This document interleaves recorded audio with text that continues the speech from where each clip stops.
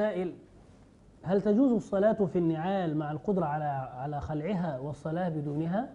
نعم يجوز الصلاة بالنعال روى أنس لما سئل أنس هل كنتم تصلون في النعال؟ قال نعم كنا نصلي في النعال وأيضا الرسول صلى الله عليه وسلم في ذات صلاة بينما هو يصلي في نعاله والصحابة يصلون في نعالهم. إذ جاءه جبريل فخلع النبي نعله ورماه وهو يصلي. فلما رأت الصحابة النبي صلى الله عليه وسلم يخلع نعليه خلع نع خلعوا نعالهم. فقال الرسول صلى الله عليه وسلم بعد ما انقضت الصلاة لماذا خلعتم نعالكم؟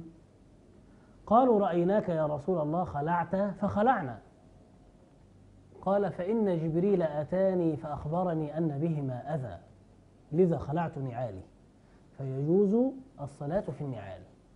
لكن لا شك إذا كان المسجد مفروشا فلا ينبغي أبدا أن يدخل الإنسان بنعليه في فرش المسجد ويلوثه.